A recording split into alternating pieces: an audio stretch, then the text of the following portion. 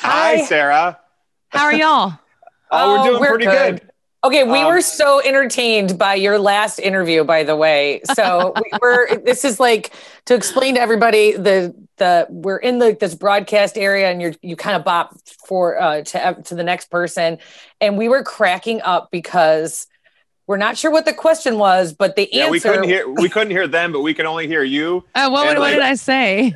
Well, the, it was funny because um, we've ne- we, well, it's nice to meet you. First off, we haven't You got to talk to you before, uh, and so we didn't know what to expect. And uh, we luckily though got to hear your side of the last interview just now, and um, we were just laughing because you were very you were like, oh, maybe I should open up when the first line was talking about. This first song you ever sang uh, about uh, two people having sex when you were five years old. So Yeah, what what song was that again? What song It did was- you sing when you were five? it was when we get behind closed doors. Do you remember that song by Charlie Rich? And you know, my mom, like she, it was my mom's choice. All the songs that I learned and sang as a child, and that was one of them. And one of them was House of the Rising Sun, which is about a whorehouse. And so I was just saying that I, I didn't know what I was singing about. No. That, you know, but I do know now why I'm so strange. well, if you think about it now, kids are singing WAP and they have no idea Exactly. really what that. You know, Adults like, are singing "Come on." WAP and they have no idea. That- that is True. true. we want to switch things up a little bit. Let's go a little bit more wholesome because you've got you're part of the Hallmark movie. Okay, I'm obsessed with Hallmark. I'm so excited to see you in this. Can you tell us a little bit um, about what we can expect with um, it's a Nashville Christmas Carol? Yes. Um, that's, you know, something that I've heard so much since I made this movie is how many people are obsessed with Hallmark movies.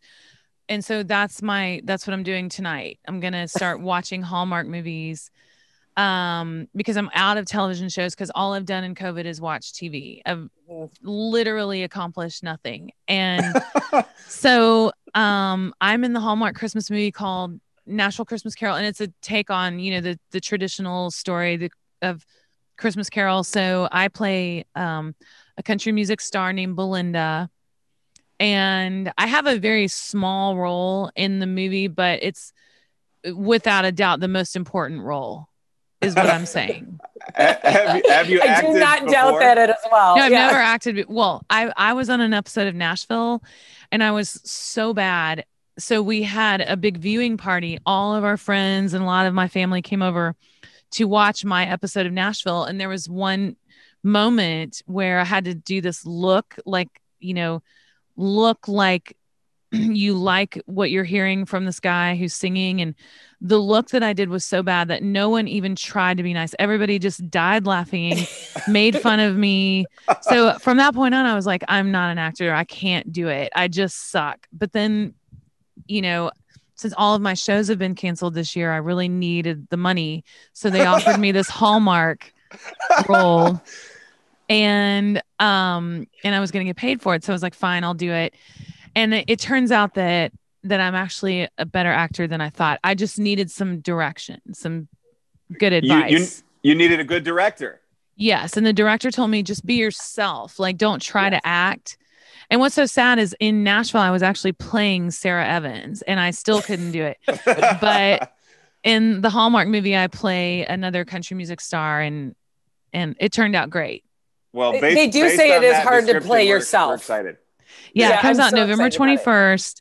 Okay. Um, I won't be wa- I'm definitely not inviting those same people that laughed at me to watch it with me, but um, I think it'll be good. And and I'm not the only country person. It's Kix Brooks and Wynonna Judd and And RaeLynn. Ray Lynn, yeah. I'm so excited about it. Well, I think I feel comfortable enough to tell you this that Rob, you're his first country music crush. You were So not, I don't know if I'm gonna to say embarrass- anything. I'm You were sorry. I just say- have to. T- I feel like she I- would receive it well. You know what? I could sense it though. I could sense. I felt this connection. Oh, I, pre- I appreciate that. you two would get along. Yeah. I mean, I know you're married. He's married, or whatever. But Well, it- you look like the guy in personality is great. Bloodline. You know the the brother in Bloodline who is like really screwed up and he's on drugs. Oh, That's Oh, who you look like. You oh, know Oh, who I- I'm talking about? I do not, but I appreciate that compliment. Well, he's cute, even though he's Even though he's a On- drug addict. yes, Okay.